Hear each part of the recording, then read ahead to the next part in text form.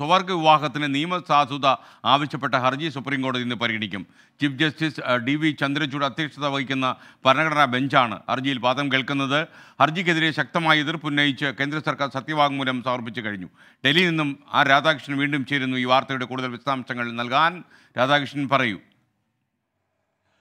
S K N chief ജസ്റ്റിസിന്റെ അധ്യക്ഷതയിലുള്ള ഭരണഘടനാ ബെഞ്ചാണ് ഈ കേസ് പരിഗണിക്കുന്നത്. ഇരുപത് ഹർജികളുണ്ട് ഈ വിഷയവുമായി ബന്ധപ്പെട്ട്.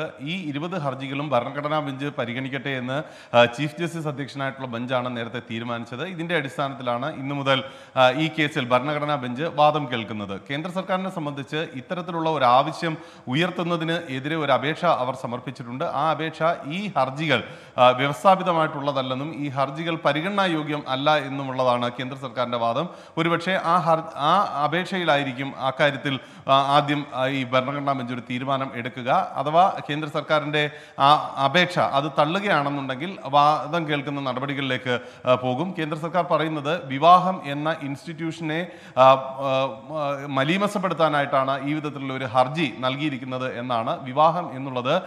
സ്ത്രീയും പുരുഷനും തമ്മിലുള്ള ബന്ധമാണ് എന്ന എന്നാണ് നിയമപരമായിട്ടുള്ള വ്യാഖ്യാനം. അതിൽ മറ്റേതെങ്കിലും വിധത്തിലുള്ള വിര വിവക്ഷ ഉണ്ടാക്കുന്നത് അതിന് രാജ്യത്തിന്റെ സാമൂഹികമായിട്ടുള്ള വ്യവസ്ഥയെ ആകെ തകിടം മറിക്കുന്ന വിധത്തിലേക്ക് എത്തിക്കും. ഇത് വരേണ്യവർഗത്തിന്റെ ചില താല്പര്യങ്ങളാണ് ഇത്തരത്തിലുള്ള ഹർജികൾക്ക് പിന്നിൽ. അത് സാധാരണക്കാരായിട്ടുള്ള ആളുകളുടെ സ്വസ്ഥ ജീവിതത്തെയും കുടുംബാന്തരീക്ഷത്തെയും തകർക്കുന്ന വിധത്തിലേക്ക് മാറ്റാൻ അനുവദിക്കരുത് എന്നതൊക്കെയാണ് കേന്ദ്ര സർക്കാരിന്റെ വാദം.